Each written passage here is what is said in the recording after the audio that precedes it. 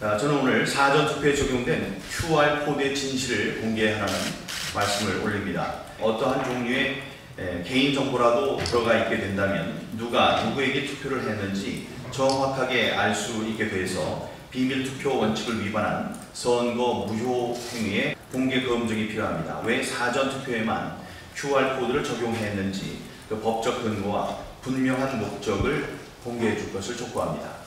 또한 QR코드를 이용한 조작 선거 가능성에 대한 입장 표명을 촉구합니다. 사전 투표용지를 프린트할 때 QR코드에 미리 특정 후보를 표기한 어, 사전 투표용지를 사용할 수 있고 또 그 표기에 따라서 중앙통계 시스템 서버에서 조작할 가능성도 제기되고 있습니다. 어제 JTBC 이 QR코드에 대해서 팩트 체크를 하는 우리 JTBC라는 매체는 어, 제가 아, 하는 말에 대해서 어, 집중적으로 그런 의혹을 제기해온 매체입니다. 새로울 게 없습니다. 에 대한 어, 증거 보전 신청은 인용되지 않았습니다. 그래서 오늘 즉각 재항고서를 판사님의 판단은 이게 만약에 부정 투표라고 또 주정을 하- 주장을 한다면 후 작업으로 어, 검표를 하면 드러날 수 있는 일이 아니냐, 뭐 서버까지 가느냐, 아마 이런 차원에서 얘기하신 것 같은데 제 문제가 아닙니다. 지금 제, 저는 제 거를 따지려고 그런 게 아니고요.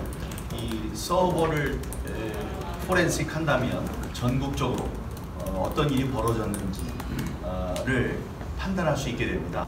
당내에서 공식적으로 TF를 만든다는 말을 듣 증거 보존 신청은 각 어, 의원들이 에, 개별적으로 하고 이제 특위를 구성해서 법적 조언도 주고 어, 또 검찰에 고발할 수 있는 것들을 추려서 주겠다고 이렇게 했었어요. 그런데 이제 오늘 제가 대검에 중앙선거관리위원회 고발장을 접수시켰습니다.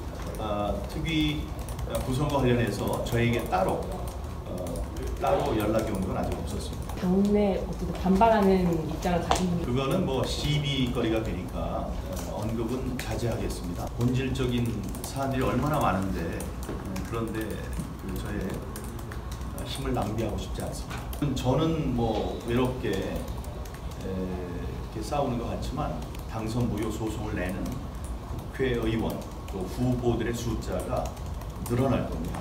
당내에서 어, 상황을 잘 모르면서 하는 어, 그런 이야기에 쏠리는 관심이 많이 줄어들 거라고 생각합니다.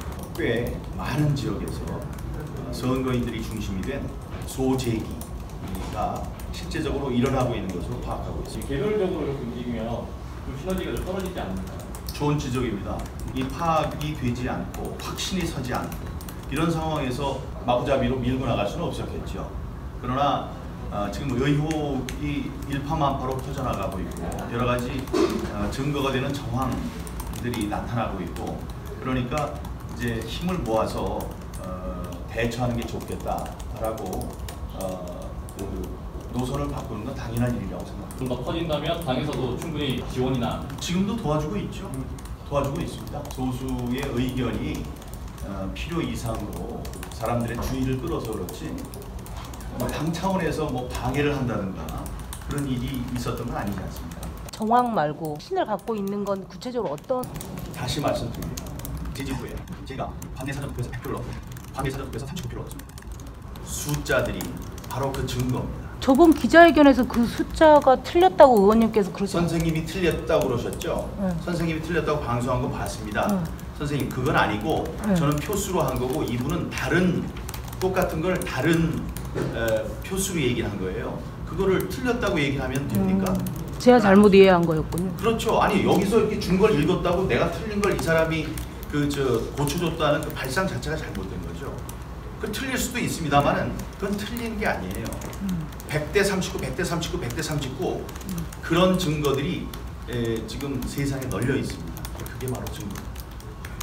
박찬 싸움이라고 생각하지 않으십니까? 진실이 이깁니다. 예, 진실이 이깁니다. 자고 일어나면 제보가 쏟아지고 있습니다. 그러니까 저는 사명감을 갖고 이 진실을 파헤치기 위한 어, 싸움을 하고 있습니다. 많은 분들이 어, 도와주고 계십니다. 이에 기독자의 통일당은 미- 인천 미추홀구 민경우 국회의원이 용기 있게 나서서 적극 지지하며 함께 할 것을 선언합니다. 이 싸움은 이길 수 있다. 아, 네, 네. 그럼요. 음, 여러분도 마찬가지 입장이라고 생각합니다.